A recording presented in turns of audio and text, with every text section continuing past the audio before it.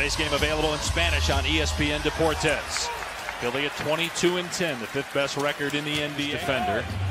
Embiid hovering on the perimeter a lot. He switches home a three there to tie it up. Harris got a good look and drains it. That's a third three for Philadelphia. Last time out, played his 1200th career game. Embiid, beautiful touch doing that this year. A block by Connaughton. Three on the shot clock. Embiid has to pull the trigger.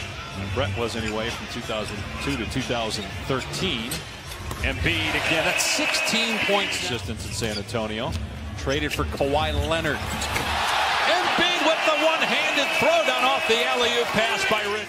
An 11-point Philly lead. Tobias Harris with another. Embiid to take it. Shot clock at three. Korkmaz driving and gets the floater in the West. And they play the Clippers on ABC and ESPN tonight.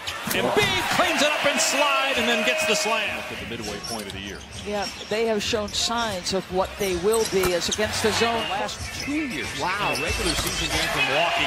But there's Harris again. That is 14 Philadelphia threes. Three by. Well, the only guy that really hasn't stepped back and shot a three is Korkmaz hits again. Korkmaz again, feeling it. Count and one. Shot clock at five. Here's Korkmaz for three. That's the 18th three for Philly, a season high. Shot clock down to two. Harris puts it off and nails it. A three.